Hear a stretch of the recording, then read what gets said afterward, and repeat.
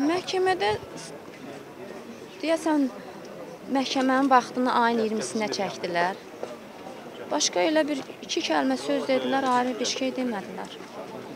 Yəqin ki, ayın 20-sində qəti həbs imkan tədbirini deyəsən uzatmaq istəyirlər, onu da bilmirəm necə olacaq. Qərar onda ayın 20-si verəcəklər. Siz bundan əvvəl görüşmüşdünüz oğlunuzla? Belə görüşmüşəm, 4 dəfə görüşmüşəm. Burada da yenə məhkəmədə dedik görüşərsiniz. Elə Ənbər Seyidov çağırdı məni, dedi ki, oğlunla görüşmüsən? Dedim belə şüşədən görüşmüşəm, belə qarşı-qarşıya görüşməmişəm. Dedi get görüş.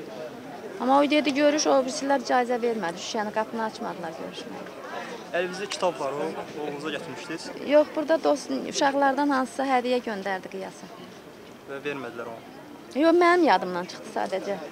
Yəqin ki, verməyə bu nə adi sadə kitabdır da. Necədir ümumiyyətlə vəziyyəti? Şükür Allaha, necə yaxşıdır, şükür Allaha. Gümrahdır. Mətindir. Biraz da səbirli olsun inşallah yaxşı olacaq. Çıxış eləmə imkanı oldu orada, necə danışa bildi? oldu, gördüm orada deyir ki, mənim kim görüşmək istəyir, kim gəlmək istəyirsə, onlara incitməyin də, gəlsinlər. O da dedi gəlsinlər, indi burada bayırda kimsə onlara sizə icazə vermir. O dedi ki, o gəlib otursunlar sakit. Amma bayırda qoymurlar sizi keçməyə. O amma Ənvər Seyidov dedi ki, gəlsin, kim istəyir gəlsin otursun, amma heç kim gəlmədi. Məhkəmə açıq idi. Açıq idi, ona görə də dedi kim istəyir gəlsin, amma onlar deyəsən qapıda dayananlar icazə vermədilər. Onlar özlərinə problem nəsə yaratmaq istəmədilər. Nə. Ümumiyyətlə məhkəmənin nəticəsindən nə gözləyirsiniz? Məhkəmənin nəticəsini o qədər də müsbət gözləmirəm. İlk günlərdən elə məhkəmə biraz deyəsən yumşaq keçməyəcək. Bilmirəm indi.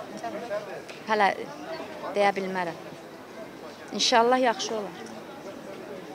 Bu gün hazırlıq iclası təxirə salındı. Səbəb o, o idi ki, Qiyas İbrahimova ittiham aktı verilməmişdi. Məhkəmə ayın 20-sinə saat 16:00-a təyin olundu hazırlıq iclası. Əlavə olaraq dövlət ittihamçısı vəsatət qaldırdı ki, ə, həbs qətimkan tədbirinin müddəti uzadılsın. Ona görə ki, 10 sentyabr 2016-cı il tarixdə həbsin müddəti başa çatırdı. Mən də vəsadət verdim ki, Qiyas İbrahimov barəsindəki ə, həbs qətimkan tədbiri ev dustaqlığı ilə əvəz olunsun. Lakin məhkəmə mənim vəsadətimi təmin eləmədi.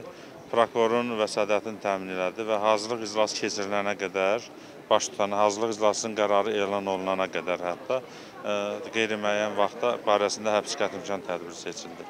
Məhkəmənin hazırlığı iclası 20 sentyabr 2016-cı il tarixli saat 16:00-da baş tutacaq.